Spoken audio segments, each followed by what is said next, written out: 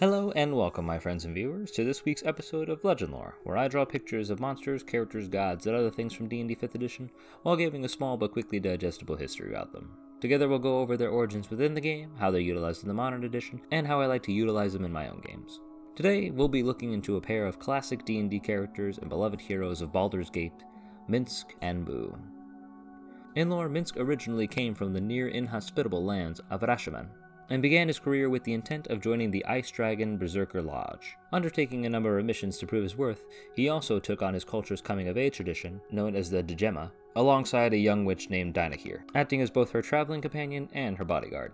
As such, a great many adventures were had by both Minsc and Dynaheir, including the latter getting kidnapped by gnolls, the two of them battling against the four element cults alongside the Emerald Enclave, becoming petrified and mistaken for a gilded statue, and forming a party to travel with that included Imoen, a young mage, Jaheira and Khalid, who were members of the heroic organization known as the Harpers, and of course his best friend and claimed miniature giant space hamster, Boo.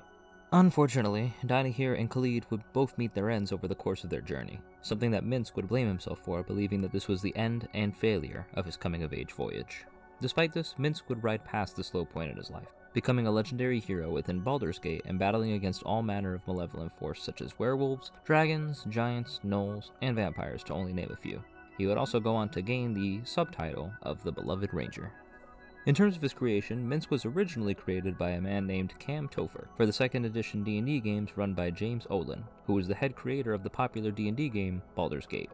Minsc's backstory was expanded upon by the game's writer, Lukas Kristjanson, so as to include him in the game and its sequel as an NPC.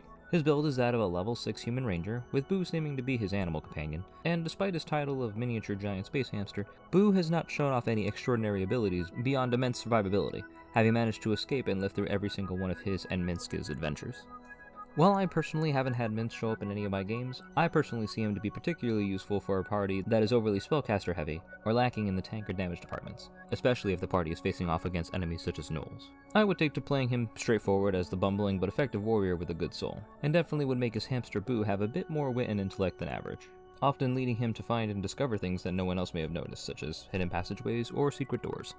In fact, the party can aid him on a quest to find Dynaheir, as she could be a prisoner within an old encampment or dungeon that the party has to go investigate anyway, encountering Minsc and Boo along the way.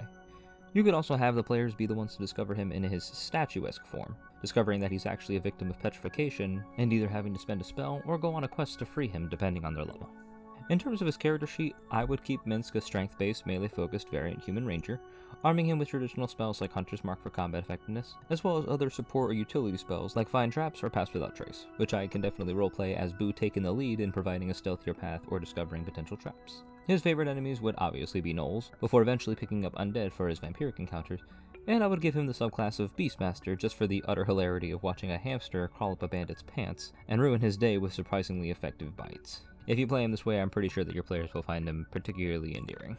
Now, unfortunately, I couldn't find any magical items associated with Minsc or Boo, and as it is with these occasions, we must make our own. And so I present to you the Blade of the Beloved Ranger, a bastard sword enchanted by Dynaheir for her bodyguard, Minsc, to use in battle. It is versatile and deals 2d4 with one hand and 2d6 with two hands, and has a plus 1 bonus to all attack and damage rolls. Additionally, once a day, the sword can be used to enact the Hunter sensibility from the Monster Slayer Ranger subclass, allowing the wielder to target a single enemy within 30 feet and immediately learn whether that creature has any damage immunities, resistances, or vulnerabilities, as well as what they are. This ability cannot pierce any divination magic protecting the creature and is regained on a long rest.